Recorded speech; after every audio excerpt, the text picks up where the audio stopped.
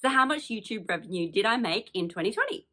So I'm going to jump into my stats and show you everything. I'm going to show you each month. I'm going to show you the views, the CPMs, the RPMs, and I'll explain what both of those mean. And I'll just basically go over all of my YouTube analytics, the revenue portion, just so you can see exactly how much I've made. I also think it'll be useful to look at the average income overall, the average income per video, if anything I did within the year impacted my income in any way. And yes, I will tell you the video that's made me the most money in 2020.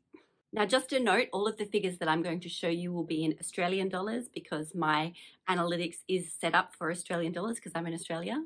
But otherwise, everything else should be pretty much how you expect it to be. So let's jump onto the computer and I'll show you my analytics and how much I made from YouTube revenue in 2020. Well, first let's change it to 2020 so we can get an overview of 2020.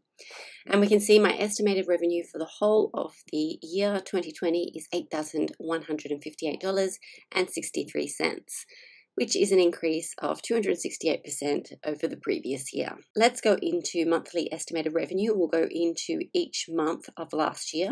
Okay, so in January, 544.25, February, 1103.08, March 862.78, April 919.43, May 909.16, June 398.55, July 503.25, August 620 474, September 533.83, October 569.42, November 645.83, and December 534.30. Now we can see I was making more around February, March, April than I was towards the end of the year. That has to do with a few factors. One is I was making less videos in the second half of the year you can see that I was getting far more views back then than I was in the second half of the year. CPM, if anything, actually went up towards the end of the year, and it just showed that because I was making less videos, I was getting less views and therefore less revenue. We can see that in overview when we look at views during that time. I was getting far more views in the first half of the year than it was in the second half of the year mainly due to a lot less videos that I was producing in the second half of the year. But let's have a look at the top earning videos. The video that I earned the most, which is more than double any other video, is Living Off Dividends, which is still my best performing video. And the others around the 500 to 400 to 300 mark are dividend stocks, building a dividend portfolio, high yield dividend ETFs, and investing in ETFs. So as you can see, my highest earning videos are those that talk about dividends or investing in ETFs. We can actually have a look in more detail at the videos.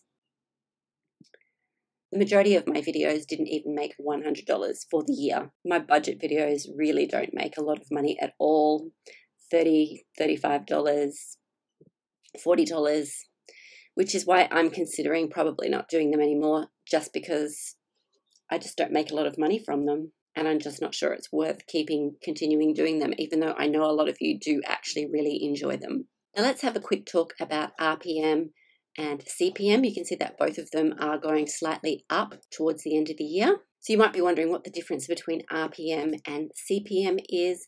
Basically, CPM is on monetized playbacks only. That means not every video that's going to be played on your channel or on YouTube is going to be monetized.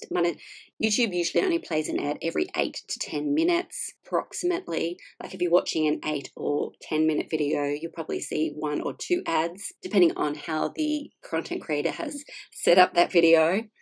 But not every playback that you watch will have an ad associated. Whereas RPM gives a better overview of approximately a thousand views is what you're going to earn. So approximately every a thousand views I get on my channel, I'm going to be earning around $11.39 from my channel. So let's see how accurate RPM actually is in figuring out per thousand views how accurate it is. I'll grab my calculator and if we go over to overview just so I can see my views, Wow, 716,000 views. That's crazy. That's nearly a million views. Oh my god. So if we go 716,000 divided by 1,000 equals 716 times 1139 equals 8,155.24, which is pretty close to my estimated revenue. So, yeah, RPM is a much better way to work out per thousand views approximately how much you're going to make. So, if we can go in and see that averages vary obviously the spikes here are when i publish a video when i don't publish a video it keeps fairly stable usually around somewhere around 15 to 20 dollars is where i find myself on a particular day and if we get a calculator and work that out so we go 8158 63 divided by 365 days yeah, I'm averaging around $22 a day, which is great for passive income, but it's not likely to replace a real job. Most of my revenue just comes from ad watching, and YouTube Premium revenue is a very small portion. Not as many people have YouTube Premium. Now, I did gain over 12,500 subscribers, which increased my income. The majority of the subscribers were in the start of the year, and it sort of has petered out again because I haven't been making as many videos in the second half of the year. So it really does correlate to when you're making more videos, you will get more views and more subscribers, which makes sense. And you can see the video Living Off Dividends, which is my top earning video, also had the most views, which again makes complete sense. So, what do I plan to do with this money?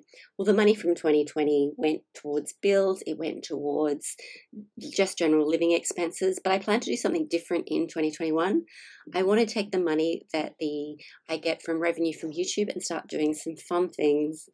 I probably won't buy stuff because I don't like buying stuff, but each month I might take the money that I earn, whether it's $500, whether it's more, and do something fun. That could be just going out to dinner, it could be going to see a show, it could be if there's enough money going in, on a little mini vacation on the weekend or something. I just want to start doing some really fun, exciting things with the money that I'm earning. And of course, film it and show you what I'm doing with the money that I'm earning from YouTube. Of course, I'll be mindful of any lockdown restrictions, but luckily, I'm in Australia and in Brisbane, and we are doing really, really well. Now that the stock market's improving, I don't think I need to be using it for bills or living expenses anymore. Um, dividends are starting to come back and the stock market's improving again, I feel like I can start doing more fun things, more things that are more exciting, and that's what I'm going to use my YouTube money for and show you what I'm going to be using the YouTube money for and just generally having more fun.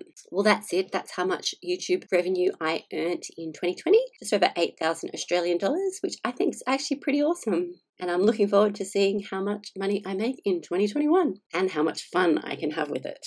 So I hope you found that interesting. I actually found it really interesting because I hadn't actually looked back until I started doing this video on how much money I'd actually made. I mean, I had a rough idea, but it was really interesting to go back and look at all the statistics and see which videos did the best. And now we can just go into 2021 and I can use that information and hopefully grow my channel and earn even more. Have a great week and I will see you in the next video. Bye.